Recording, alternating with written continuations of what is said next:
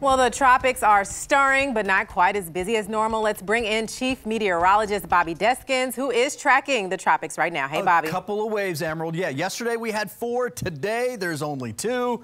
Really, this is the only one that we're even watching. Does have an 80% chance for developing, but uh, let me get this out of the way. It's not going to affect us. At least that's the way it looks now. We'll likely recurve. Guys, we're thousands of miles away over here, over a thousand miles away, right? So it's not it's not our storm, but it may develop. It may actually get a name. 80% chance by the end of this work week. 40% chance that that wave develops although it won't last long even if it does. So that's way out there in the eastern Atlantic. This is the one we're looking at now. Looks uh, okay today. It's not terrible, but shear to the north, shear to the south, not near the center, so that's good, although there is some on the south side there. But I do expect it to have some dry air on along with that shear. It has to get up into this area here, northeast of the islands, northeast of St. Martin.